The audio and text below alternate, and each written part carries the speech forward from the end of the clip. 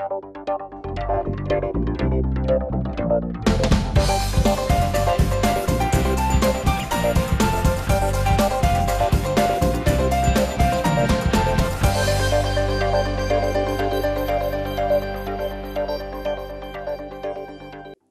Технічна модернізація легкої промисловості України, інгульська шахта без ліцензії на користування надрами та профорієнтаційні заходи для юних українців.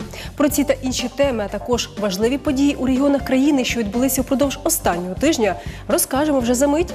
Ви дивитеся програму Діловий ритм. Вітаю вас! Дороги в Україні. Скільки часу та ресурсів знадобиться, щоб відновити дорожню інфраструктуру? Очікувані зими. Як Кіровоградщина готується до нового опалювального сезону? Відродження чорноземів. На Херсонщині продовжують запроваджувати сучасні технології в агросекторі. Глава уряду перевірив ремонт доріг в центральних регіонах України Кіровоградській, Київській та Полтавській областях. На Полтавщині Володимир Гройсман проконтролював будівництво нової об'їзної траси, яка проходить через Хорольський район. Подробиці з наступного репортажу. Як турки на Полтавщині нову дорогу будують, приїхав перевірити прем'єр. Інспектувати наші траси урядовець вирішив не на автотранспорті, прилетів гвинтокрилом.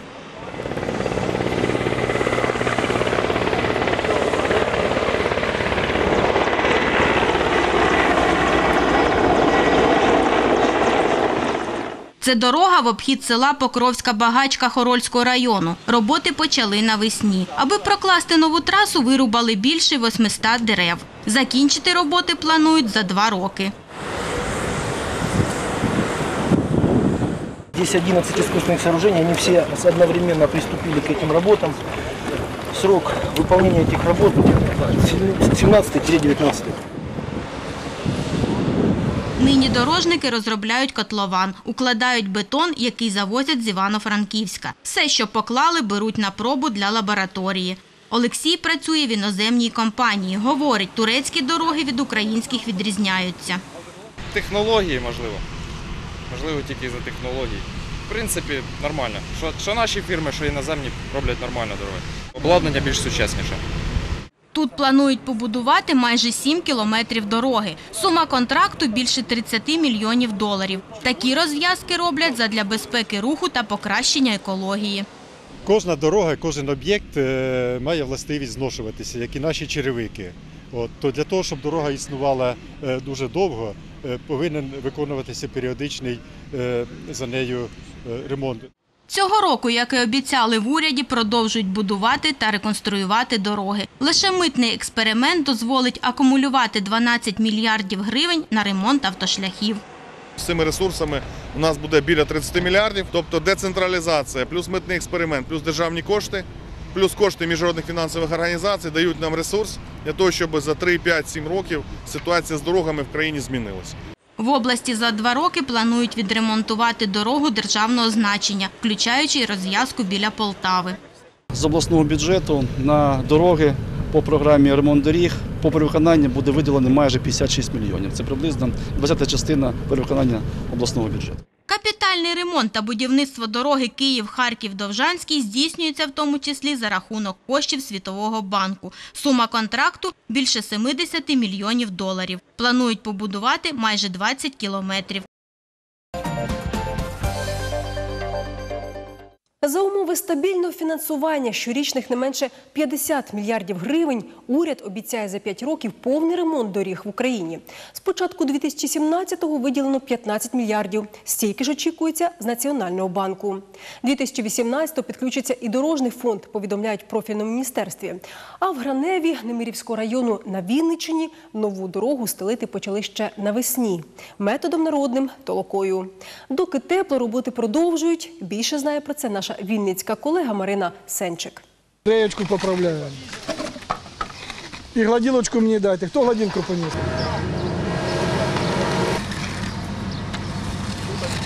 Четвертий день працює на Гранівській дорозі бригада майстрів, які дорогу укладають, майстра Михайла Звонарьова.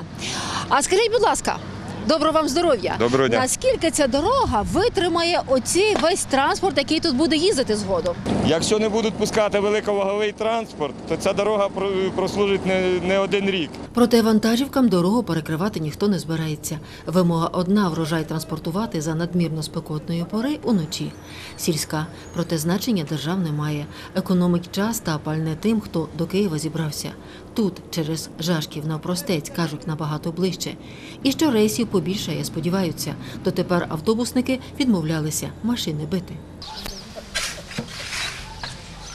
Бери більше, кидай далі, відпочивай, поки летить.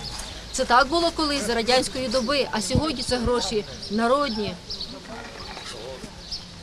Скидалися. Хто скільки міг.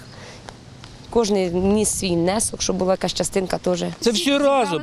Школа, харчування людей ми організовуємо. Е, Люди здали, здають гроші на дорогу. Це знаки ставимо за, лю- за людські гроші. Розмітка буде. З хати в хату ніхто не ходив. Люди самі гроші несли.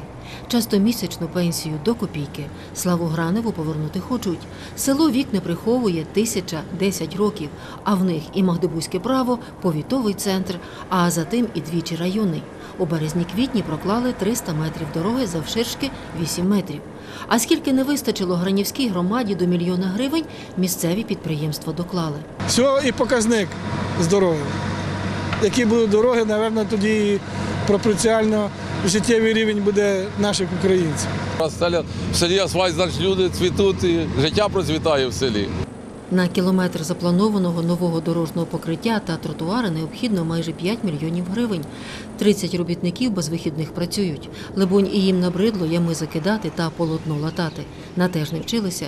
Нині 760 метрів новенького покриття через гранів є. Без перебільшення історичний момент для села Гранів і тих, хто буде сюди приїздити. Міліметр за міліметром твориться новенька, якісна, сучасна дорога. І у продовження теми на Закарпатті з'явився перший щитувач тахокарт з вантажівок. Місцева влада впевнена, суворіший контроль кращі дороги. Нову спецтехніку вже випробували співробітники Укртрансбезпеки. Як допоможе автоматизована перевірка підтримувати закарпатські дороги у кращому стані та зменшити ДТП, дізнаємося просто зараз. Майже півтори тисячі порушень виявили інспектори Укртрансбезпеки минулоріч. Всі вони стосуються дотримання перевізниками вимог Європейської угоди щодо роботи екіпажів транспортних засобів, які виконують міжнародні перевезення. Найчастіше водії нехтують правилами режиму праці та відпочинку або ж взагалі вимикають контрольний пристрій тахограф, який фіксує відповідні дані. Та виявити ці порушення вдавалось не завжди. Зараз в краї з'явився перший щитувач, за допомогою якого без особливих зусиль можна побачити весь графік роботи водія. Закарпатська область стала першою, де випробували спецтехніку. Це зумовлено тим, що в прикордонних областях трафік великогабаритних автівок міжнародних перевізників найактивніший. Є тахограф, так, який фіксує всю діяльність водія. Так, є картка, яка е, е, щитує, є щитувач спеціальний і є зв'язок з комп'ютером. Да. В ітогі ми отримуємо чітку роздруківку да, з всіми порушеннями або без порушень роздруківку е, діяльності водія. Від початку 2017 року число порушень такого типу вже сягнуло 1300 випадків. Для порівняння за весь минулий рік їх було менш ніж півтори тисячі. А сума штрафів, сплачених порушниками за 2016 рік, досягла 800 тисяч гривень. Такі порушення нерідко призводять до ДТП. Провірити техніку в дії вирішили на першій ж вантажівці. За результатами інформації, отриманої із тахографа, програмним забезпеченням порушень режиму праці та відпочинку водія не виявлено. Робиться тільки роздруківка, відповідно, видається водієві про те, що перевірка проводилась, порушень не виявлено, він може продовжувати подальший рух. Штрафні санкції до нього не застосовуються, оскільки порушень немає. Водії розуміють важливість дотримання норм перевезень та серйозність наслідків порушень. Однак, за словами спеціалістів, дотримуватись правил здебільшого їх спонукає суворий контроль за кордоном. Хто не відпочиває, потім пливуть, як говориться, по дорозі. Треба працювати і відпочивати. Ну і за кордоном воно контролюється, і в нас воно контролюється. Дороги будуть кращі. Якщо людина везе нормальний груз, то, то воно будуть дороги гарні. За кордоном ваговий контроль у нас практично постійно на границі. Проходять на цьому пункті і габаритно-ваговий контроль. Допустима норма маси вантажівки 40 тонн. Все, що понад, руйнує закарпатські дороги. в Закарпатській області є недостатньо площадок для габаритно-вагового контролю.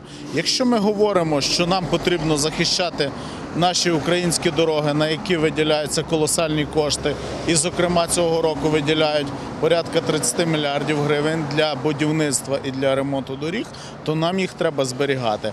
Адже в Україні за рік псуються дороги е, великогабаритним транспортом більше як на 2 мільярди гривень. За умов належного технічного забезпечення управління Укртрансбезпеки у Закарпатській області зможе скоротити кількість ДТП та попередити нищення автошляхів. Однак для цього потрібно більше отаких сертифікованих контрольних майданчиків. На сьогоднішній день ми закінчуємо вже процедури е, тендерних закупівель по габаритно-ваговому контролю. Це будуть спеціальні автомобілі, які найближчі місяці будуть передані, частина яких і Закарпатській області. Як мінімум е, три такі спецавтомобілі я передам е, для Закарпатського управління. На додачу, за словами керівника служби, нова спецтехніка унеможливить корупційну складову в роботі інспекторів, адже дотримання чи порушення норм визначає не людина, а автоматизовані прилади. До 2% національної економіки здатна формувати, за прогнозами експертів, легка промисловість України. Щоправда, для реалізації цього завдання легпром слід технічно модернізувати, а ще надати підтримку в освоєнні внутрішнього і зовнішнього ринків. Змін потребує і система підготовки кадрів.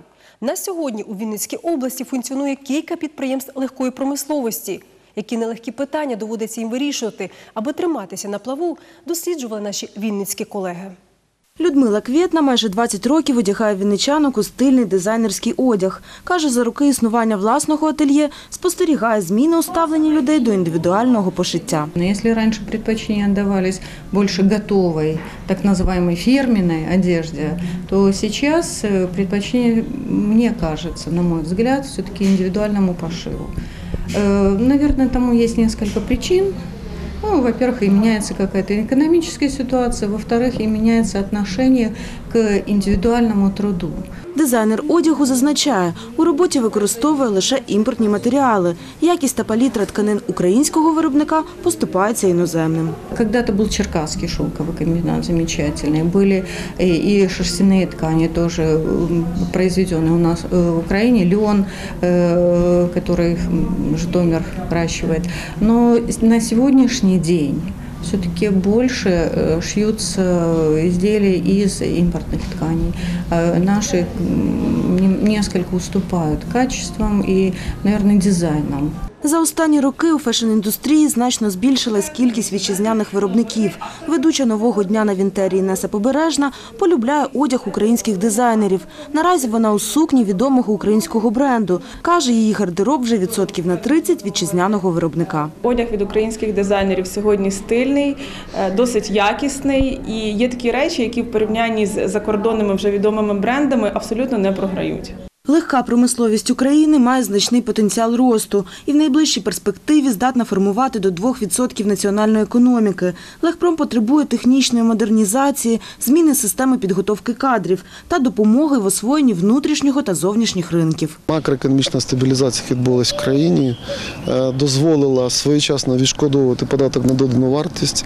Е, Була лібералізована система пов'язана із роботою української митниці. Це дало можливість пошуку додаткових фінансових ресурсів Нині на території регіону функціонує кілька підприємств легкої промисловості. Серед тих, хто втримався на плаву, Володарка, Поділля та Хмельницька швейна фабрика Лілея. В області серйозно працюють і над тим, аби забезпечити якісну професійну підготовку кадрів у закладах профтехосвіти. Так, у Вінницькому вищому училищі сфери послуг відкрили навчально-практичний центр із сучасним обладнанням, де підвищуватимуть кваліфікацію майстри швейної справи. Кіровоградщина готується до нового опалювального сезону. Як саме керівництво області звітувало перед прем'єр-міністром України під час селекторної ради? Крім того, на Кіровоградщині оприлюднили ще одну проблему це робота інгульської шахти, в якої закінчилася ліцензія на користування надрами. Детальніше Сергій Михайлін розповість. Нараду із регіонами прем'єр Володимир Гройсман розпочав із інформації про пільги та субсидії. Нині уряд закінчує їх верифікацію. Ми закумулювали додатково 15 мільярдів гривень для проведення розрахунків по пільгам і субсидіям.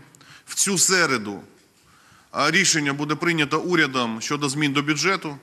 Ми направимо його в парламент і будемо просити парламентарів підтримати. Після його підтримки цього бюджету фактично ми проведемо всі розрахунки. Очільник Кабміну закликав голів обладміністрації контролювати рівень розрахунків за енергоресурси та впроваджувати енергоефективні заходи. Очільниця житлово-комунального господарства Кіровоградщини звітує. Рівень розрахунків за спожитий природний газ на рівні 97% взагалі підприємства заплатили.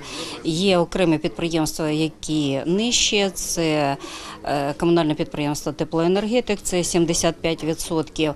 Але в цьому напрямку працюють органи місцевого самоврядування. Міністр енергетики та вугільної промисловості повідомив, що підготовка до опалювального періоду йде за планом. Запаси вугілля складають 2,7 мільйони тонн. З них антрацитової групи на 220 тисяч тонн більше в порівнянні з минулим роком. В газосховищах знаходиться майже 11 мільярдів кубів газу. До жовтня планують збільшити обсяг до 17. В балансі нашої держави цього року на 3,5 мільйона тонн вугілля антрацитового ми зменшили і замістили його е, газовою групою.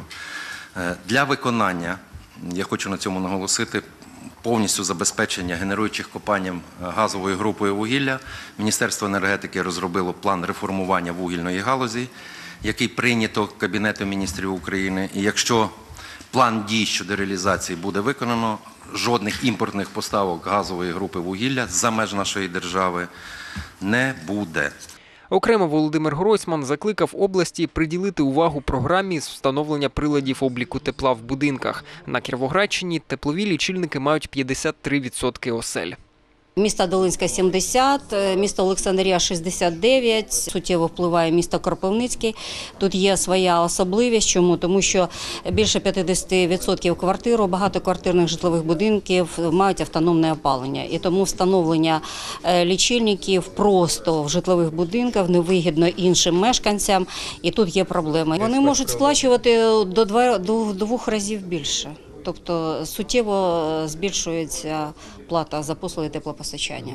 Очільник Кіровоградщини доручив меру Кропивницького перейняти досвід Запоріжжя, яке знає, як вирішити цю проблему. Загалом підготовка області до опалювального сезону йде за планом. Нині рівень готовності на місцях становить від 30 до 50%. Єдина проблема це робота інгульської шахти. Уже два тижні півтори тисячі гірників не працюють через відсутність ліцензії на використання природних надр. Видати її має Міненергетики. Прем'єр-міністр пообіцяв допомогти. Зрошення на Херсонщині відроджується. Ще тисячі гектарів земель стали поливними. Це вже другий проєкт за рік. Насосну станцію та 13 сучасних дощувальних машин цього разу запустили у Каховському районі. Проєкт особливий, адже 100% профінансований коштом місцевого сільгоспідприємства. Каховські аграрії вклалися у рекордні строки і вже розпочали полив. Як неорана земля перетворилася на родючі чорноземи, бачили наші колеги. Ще три роки тому на цих ґрунтах був суцільний солончак. Земля абсолютно непридатна для сільського господарства. З рослин хіба що бур'яни. Проте місцеві аграрії ситуацію вирішили змінити докорінно. Мы поставили эм, пилотный проект «Три машины» и завезли сюда более 3000, 3600 тонн гипса, гипсовали. Э, Первый год э, нашей работы не принес нам результат, мы собрали очень минимальный урожай, Це і є яскрава ілюстрація особливостей земель Херсонщини. Зрошення тут єдина панацея та запорука рекордних врожаїв, які тепер для аграріїв стали реальністю. Здесь будет э, выращиваться технические культуры соя, подсолнух, ну, в зависимости э, от севооборота. До своєї мрії місцеві аграрії намагалися прийти у рекордні строки. Рік на технічну документацію, ще стільки ж на монтаж обладнання. І як результат енергоефективна насосна станція та 13 сучасних американських дощувальних машин фірми «Зематік». Уложились сюда э, около трех километров центрального трубопровода 820 диаметра, 820 миллиметров. Сделали э, отвод э, от центрального трубопровода около 7 километров э, к машинам «Зиматик». Установили 13 машин. Каждым машинам протянули кабеля, электрокабеля. Э, Ориентировочно около 12,5 кило- километров кабелей было уложено. Передові технології тут скрізь. На процес поливу не лише витрачається зайва енергія та вода, він ще й повністю автоматизований. Керувати поливними машинами можна просто з мобільного. Для того, щоб запустити дощову машину е, Зіматік, вона запускається з телефону з допомогою GPS-навігації. Для цього встановлена спеціальна програма, яку я зараз включаю. Після того, як програма передасть сигнал, дощова машина буде запущена через 4 хвилини з водою.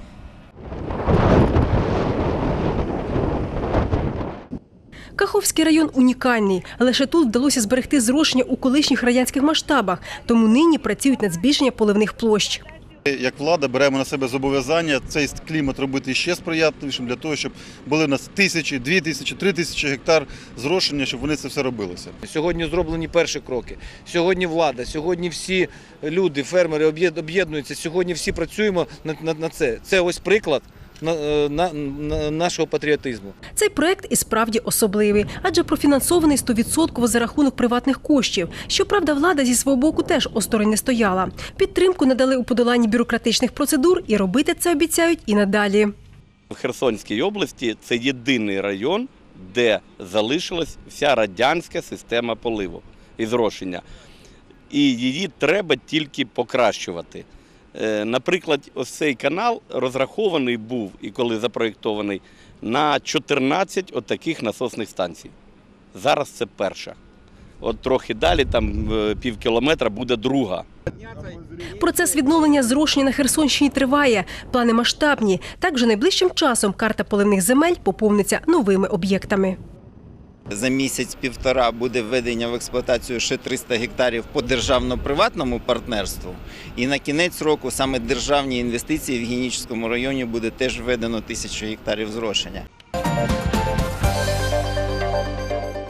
Не лише гарно відпочити, а й обрати майбутню спеціальність. Таку можливість мають херсонські школярі. Вже п'ять років в обласному центрі працює літній професійно-орієнтаційний табір. Цьогоріч такі майстер-класи вже відвідали три сотні хлопців та дівчат. Окрім цього, для дітей нині розробили унікальну квест-кімнату. Як юні херсонці визначалися з майбутньою професією, бачили журналісти. Вони розділяються на команди та готові до старту. Квест-кімната розподілена на три сектори. Юні кухарі відчиняють скриньку та знайомляться із завданням. Повар, выполните задание и найдите три кодовых числа. Первое. Готовим банкет. Выполните сервировку стола к обеду согласно схеме. Поки кухарі освоюються, юні медики вже увійшли в свої ролі. Нам нужно сделать измерение э, маленького мальчика. Поруч пекарі і початківці тренуються заплітати коси, поки що на тренажерах. Сейчас мы делаем плетем э, косу, пробуем как э, пока что на вот этих веревках. Квест-кімната гордість центру. Цьогоріч її запровадили вперше. У цьому році ми спробували відкрити ігрову квест-кімнату, яка дає змогу дітям е, випробувати себе в професійній діяльності. І ті професії, які ми саме даємо, е, навчаємо у нашому центрі, ми включили в цю квест-кімнату. Після проходження квесту діти у захваті. Багато хто навіть визначився з майбутньою спеціальністю. Э, Мне очень понравилось быть медиком. Э, Мы искали ребенку лекарства, э, так, его вес взвешивали, рост, и мерили объем живота. Э, Я, когда вырасту, я хочу стать медиком. У літньому таборі сьогодні для юних гостей приготували цікаве навчальне меню. Справжній ажіотаж традиційно на аквагримі. Кілька хвилин, досвідчені рухи майстра, і хлопці та дівчата вже у ролі казкових героїв. Лучше всего, конечно, они любят быть зайчиками, кошечками, бабочками, божьими коровками, а мальчики, конечно, бэтменами и пауками. Поруч можна пройти і майстер-клас з виготовлення мила. Процес миловаріння цікавий та нескладний. Для этого мы пользуемся или основой мыльной, или просто обыкновенным детским мылом, которое разогревается на водяной бане при комнатной температуре и добавляются различные ингредиенты. Прикладні мистецтва сьогодні в тренді. Від розмаїття пропозицій розбігаються очі. Для дітей підготували сім різних майстер-класів. Майстер-класи професійного спрямування це майстер-клас виготовлення цукерок, майстер-клас виготовлення мила, е, вироби своїми руками. Е, На сьогоднішній день ми показуємо закладки із фетру. Серед родзинок нині і майстер-клас з оригамі. Так юні херсонці долучаються до року Японії в Україні. 20 простих рухів, досвідчений педагог поруч, із дитячих рук виходять перші в житті лелеки, символи країни сонця, яке сходить. Мне очень понравилось э, делать журавля. Літній профорієнтаційний табір цьогоріч святкує п'ятиріччя. Організовують його щороку, і педагоги зізнаються, результати такої роботи вже є. Якщо дитина приходить у 10 клас 1 вересня, то звісно вона не 2 вересня вирішила, що вона стане юристом або дантистом. І чим раніше ми починаємо е, таку співпрацю з учнями і допомагаємо їм визначитися із своїм майбутнім, е, тим простіше зробити їм правильний вибір професії. Цьогоріч цікаві майстер-класи вже відвідали три сотні школярів. Для тих, хто ще не встиг, час є. Табір працюватиме ще упродовж двох тижнів. І це все, що ми встигаємо розповісти вам сьогодні. За тиждень стануться нові події, а це буде новий привід для зустрічі всій студії. На все добре.